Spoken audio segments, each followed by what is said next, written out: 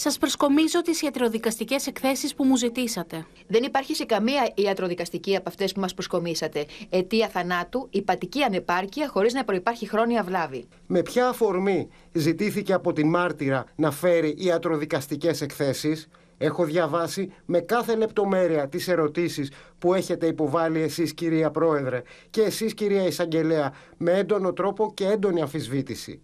Η κυρία Εισαγγελέας θα μπορούσε να αναζητήσει μόνη της εάν υπάρχουν νεκροψίες, νεκροτομές με αιτία θανάτου ή πατική ανεπάρκεια. Ουσιαστικά εκτίθεται η κυρία Εισαγγελέας και επιβεβαιώνεται η μάρτυρας. Λοιπόν, αυτός ήταν ο ακριβής διάλογος, φίλες και φίλοι, ό,τι αφορά τις ιατροδικαστικές εκθέσεις, οι οποίες, επαναλαμβάνω, προσκόμισε σήμερα, παρουσίασε, κατέθεσε στο δικαστήριο η μάρτυρα η κυρία Τσάκονα.